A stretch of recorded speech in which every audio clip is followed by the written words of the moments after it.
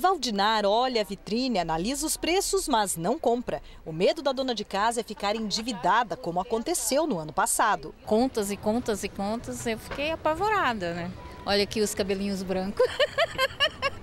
Segundo uma pesquisa, o número de consumidores que não consegue quitar as dívidas aumentou em maio. A parcela da população com esta dificuldade chega a 64,3%. Outro levantamento revelou que dois em cada três brasileiros não conseguem guardar dinheiro. E um dos motivos é a compra por impulso. Muita gente sai gastando assim que o salário cai na conta. É o caso de Jefferson. Mesmo precisando comprar o enxoval do primeiro filho, o garçom não resiste. Comprei ontem calção para mim, sendo que eu precisava comprar para meu bebê. Gastou para você, não gastou para o bebê. Endividado e gastando sem necessidade não dá para economizar.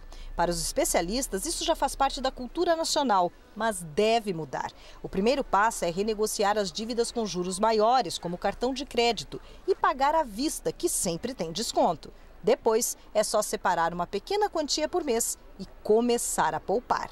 Pode começar pela caderneta de poupança. Né? Hoje a caderneta de poupança está rendendo bem agora, né? está voltando a render bem. Faça a tua, poupança, nem que seja de 50 a 100 reais por mês. Mas é uma boa opção, vai por mim.